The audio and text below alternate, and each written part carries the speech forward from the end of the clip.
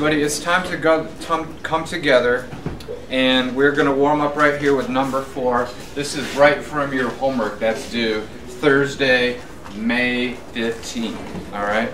It reads the volume of a gas is 30 liters at 313 Kelvin, 153 kilopascals of pressure. What would the volume be at standard temperature and pressure? So, Cole, what is the question asking for, please? What would the volume be? All right, so V1 or V2?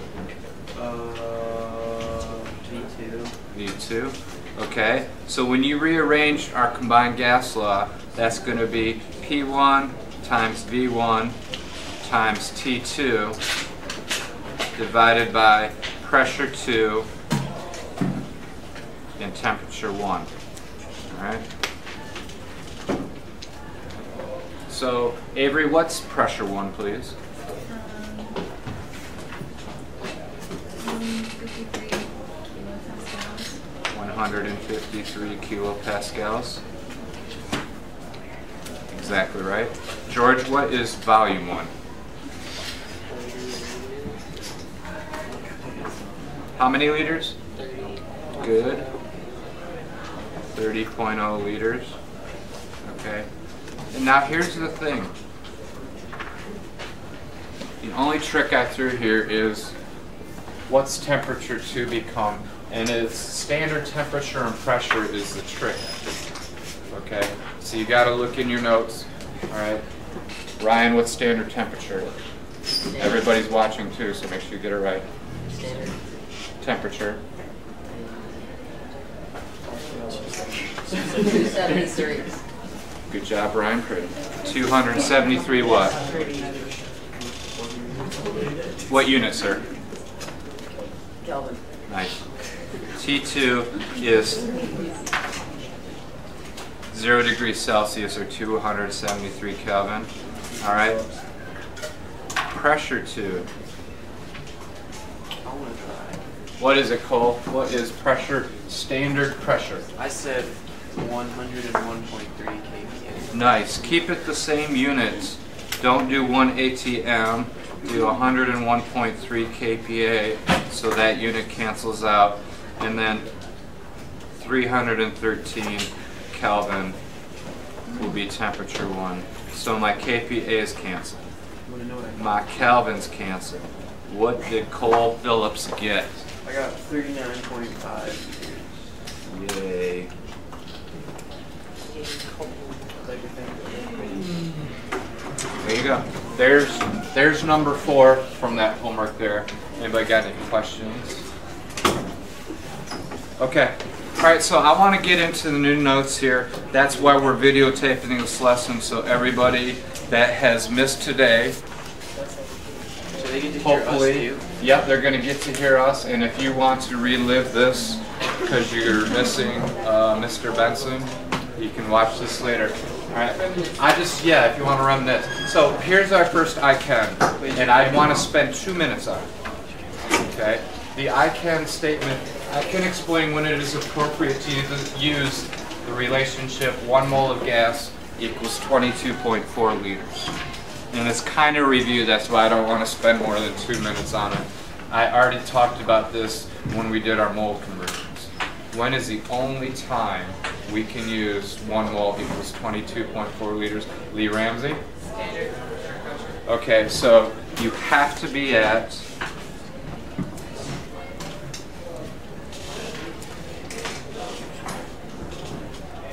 standard temperature and pressure STP, which is a temperature of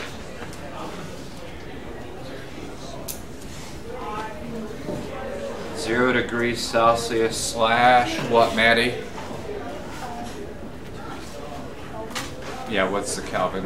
Uh, 273. Good job. 273 Kelvin. And a pressure of one atmosphere slash what? Go ahead, Keishan. 101.3 kPa. 101 1.3 kPa. So if both those conditions don't exist, you cannot use the 1 mole equals 22.4 liter. That's why in those questions I'm always supposed to say at STP. Now, you don't have to memorize STP. It is on the reference table right in the front there. And in fact, I would have that reference table out, because we're going to need it. Okay, so now I want to teach you a new equation. Okay, I can explain when it's appropriate to use the ideal gas equation. And an ideal gas equation, it gives us the relationship of everything for one gas sample. Meaning, let me get my balloon out. It's a different balloon than yesterday because I had to throw that away.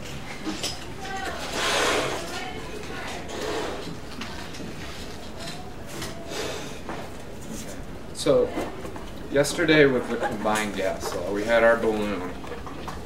All right, and what we did is I said, what I asked, what would happen? All right, you have a pressure right now and you have a volume. How about I reduce this volume in half? What happens to pressure? You guys, oh my gosh, the pressure increases. Okay, so we change something. All right, what happens when we change things? Okay, what happens if I change the temperature and I leave it outside in the cold or I throw it in the fire. Okay. What we do today is we just look at our sample of gas. It has the temperature in there. It has a pressure, those particles hitting the wall, and it takes up this much volume. Also, we add one thing today, okay, moles. It's the particles inside here, how many gas particles there are. That's a very important characteristic of a gas. And basically, they're all related. In an ideal gas, they have this perfect mathematical relationship. Okay. And they have a, what's called a common factor, and we give that a gas constant, which I'm going to hopefully explain and make clear later. The gas constants are just the common factor that the pressure, volume, moles of gas, and temperature are all related. Okay. Key thing today, we don't change anything. We don't change the conditions.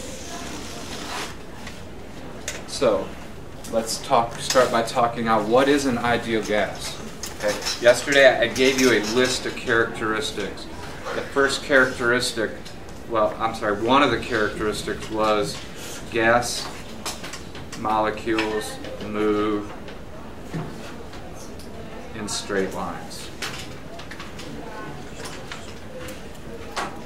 Who else can give me another characteristic of yesterday? Go ahead, Peyton. Oh, they never stop until they hit something. Okay, and when they collide, what kind of collisions did they have? There was a term for it. Oh, yeah. Wait, I was gonna answer the next one. All right, I'll let you answer this one. Elastic collision. And what it means is, even when they collide, Peyton, they're not going to lose energy, so theoretically they never slow down. Elastic collisions means they never slow down. They're going to collide and keep the same kinetic energy and they move. And go ahead with the next thing, Avery. Um, the temperature of gases is directly related to the average kinetic energy. To me, this is the important one. Temperature is directly related to average kinetic energy. And there might be two more, but someone, I could get one more One more what? of the characteristics of an ideal gas. Uh, Go ahead, Lee. They have no volume. Good. They have no volume. Okay. This was an ideal gas following the kinetic molecular theory to perfection. This is the characteristics they would have. Unfortunately, it's never ideal, but we can get conditions very close to ideal. We said yesterday there are two conditions to be an ideal gas. What kind of temperature do, do I have, Maddie? A higher temperature? Exactly right. The, the faster you get these particles moving, the more ideal your gas is. And then how about pressure? High or low pressure? Low pressure, good. Thank you so much. Okay. When you have those two conditions, that's when gases are most ideal. So the gas law includes the variables pressure, volume, temperature. You're used to all those factors. We add one more factor today, number of moles. Okay. The key thing is the conditions do not change. The ideal gas law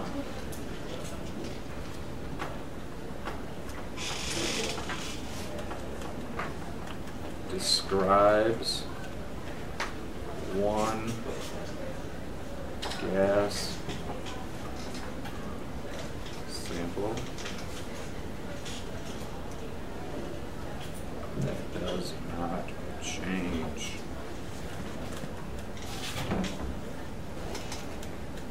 There is no P1 and P2 or V1 and V2. Oops, let me move that up. Does not change. And we'll see in the question here what I mean by that. Alright, Here's the formula.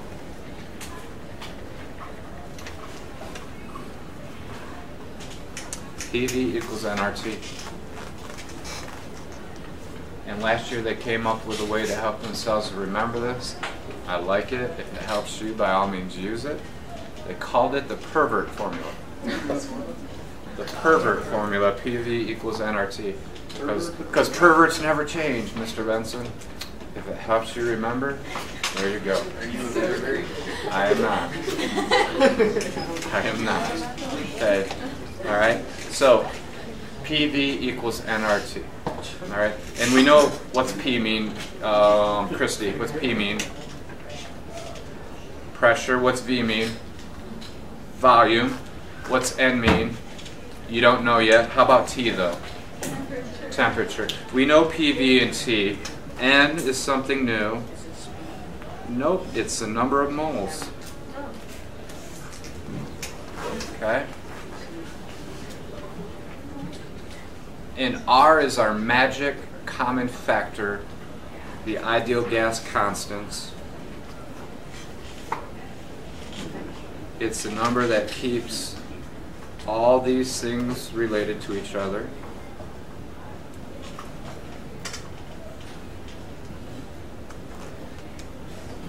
Get one of those um, reference tables from somewhere. Okay. And if I could direct your attention to the chemistry reference table, front page, um, big box towards the top right there. See how it says gas constant, capital R in parentheses? That's where you're going to go to find it.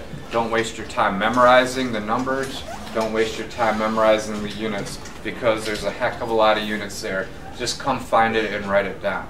Okay. The key thing is there's three different ones here. Which one of the three do you use in your problem? Here's the key thing. Ideal gas constant. Key factor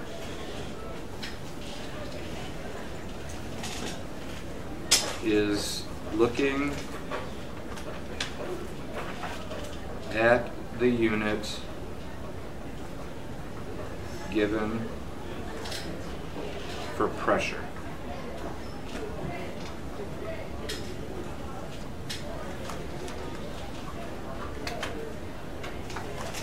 So if you guys will look at that, let's explain what we mean here. So take a look at the units here. Notice the liters are the same in all three of those numbers there. Liters is a unit in all three. Notice moles is a unit in all three, and so is Kelvin. The only thing that's different with the numbers is your unit for pressure. So if I said to Caroline, Caroline, if the pressure that I give you is in atmospheres, what number do you use? The 0.0821, the 62.4, or the 8.314? Point zero eight. Perfect. This one here that has atmospheres in it, that's what you use. Just write that number and all those units down. If I said to Anna, how about the one that you use the most, I think KPA. Which one of these numbers are going to use if KPA is what I give you? 8.314. And honestly, 62.4 is the one I always forget because I never use it. I'm never going to do millimeters of mercury. We'll do these two. Okay, it's all what unit of pressure I give you. So there's that. Don't memorize it. Let's write down the two ones that we care about. If it's ATMs, we're going to use 0.0821. ATM times liter divided by mole times Kelvin. And the reason we write all those units out, you're going to see it cancels everything. All those units cancel everything for us. And then the one that's probably even more common that you'll use, 8.314 kPAs times liter divided by mole times Kelvin. Okay. So one of these two. Whatever pressure. So I'm ready to do an uh, example. Does anyone have a question that they want to ask at all? Okay. All right, so the example is a 4.5 grams of methane gas um, in a 2 liter container at 35 degrees Celsius. What is the pressure expressed in atmospheres ATM? So you read the question. Here's the first thing when you got a gas law problem. Did one of your units change? Did one of your units change here? No. No. Pervert equation. Pervert's never changed. PV equals nRT. Okay. And what are we? What um, factor are we trying to solve for? Uh, Pressure. Exactly right, in ATM. So to rearrange it, we're going to cross that volume down. P equals nRT divided by volume. Okay. Um, the only thing tricky about this one, I did not give you moles. So you're going to have to convert the 4.5 grams of methane to moles of methane. So let's just do that real quick. 4.50 grams CH4. One mole of CH4 is 16 grams of CH4.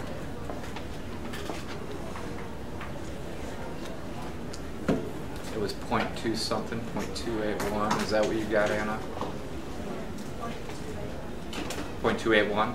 Yeah. I remembered right. 0.281 moles of CH4. Okay, so that's what you're going to plug in for N. So let's go ahead and write that down. 0.281 moles. Let's skip R for just a second. Let's do R last. How about T? What am I going to plug in for T there? Who wants to tell me? 308. How'd you get 308, Allie? Yep. This right here, 35 degrees Celsius plus 273 is 308. Okay. Divide that by our volume, um, which is what, Josh? um, Two. Good job. 2.0 liters. And so finally, Tessie, what am I going to use for R here? For R, you're going to use point zero eight two one ATM times um, mole times two.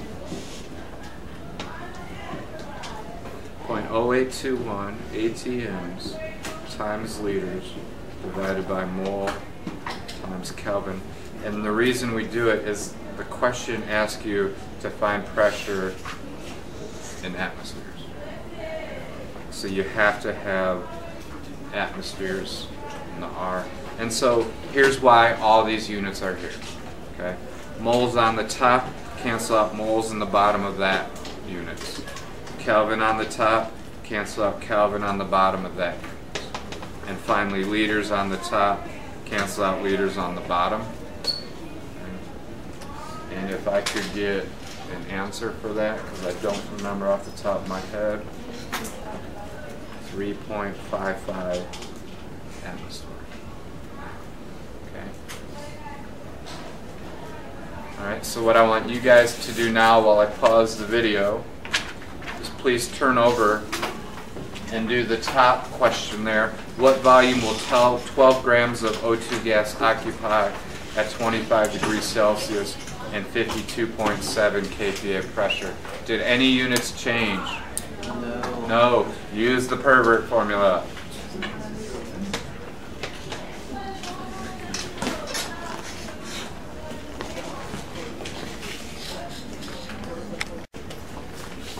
Okay, so you guys working at home should have got 17.6 liters. If not, you suck. All right. So, all right. So here, I'm going to teach you the easiest thing I teach you all year now. It takes two minutes. Dalton's law of partial pressure. I can explain when it is appropriate to use that law and to solve for either partial pressure, oh, wow, I have a typo here, or total pressure. Total pressure. Why are you not perfect? Okay. All right. So before I before I go through this law, you need to know what partial pressure is.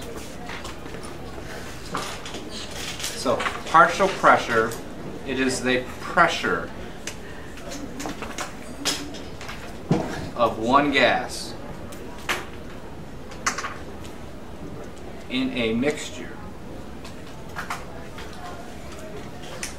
of gases.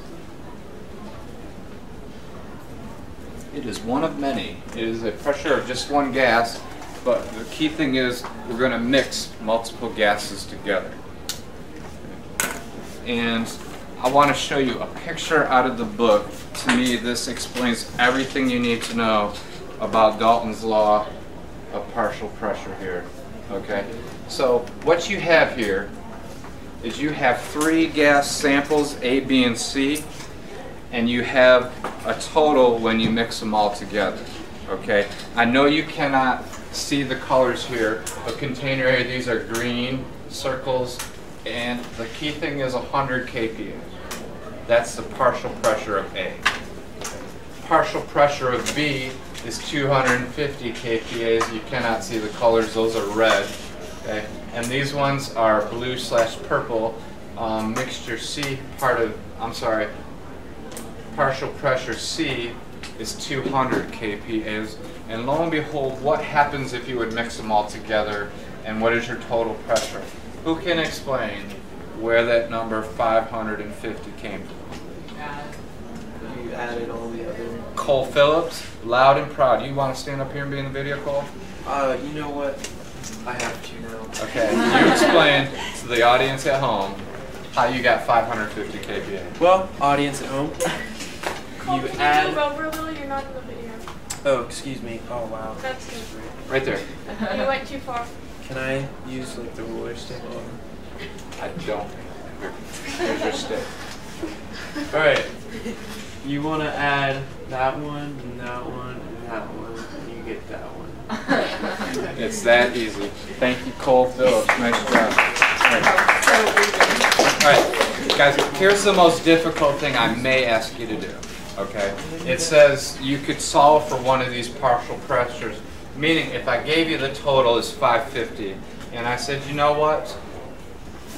A has 100, B has 250, blank. Tell me the partial pressure of C. That's as difficult as I am going to make these problems. Okay? So that's what you would have to do. It is just like me asking you to fill in this blank.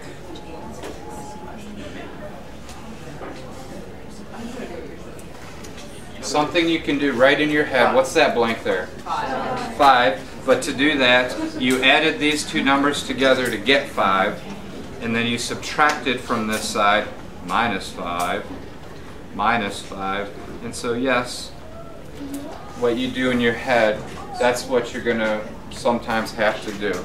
So let us finish up the notes of the easiest thing I teach you all year, Dalton's law of partial pressures. Okay? To find the total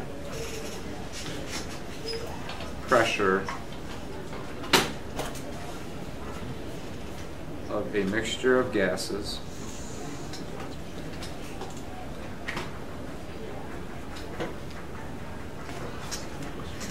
Okay. Just add all partial pressures. That's simple. P total equals partial pressure 1 plus, partial pressure 2 plus partial pressure 3 dot dot dot. You have 10 partial pressures, add up all 10. If you have 2, just add up the 2. And that's the easiest thing all year. Dalton's law, partial pressures. This example right here requires you to solve for the partial pressure of O2. I'll let you guys do that. You'll come back on your own. Let's just do the last example. It's the easy one. Determine the total pressure. P total. It contains oxygen. So you're going to add the partial pressure of oxygen with helium. And finally, the last thing, add up nitrogen's pressure there. And here are your values. You got 335.8 plus 29.2 plus 13.0.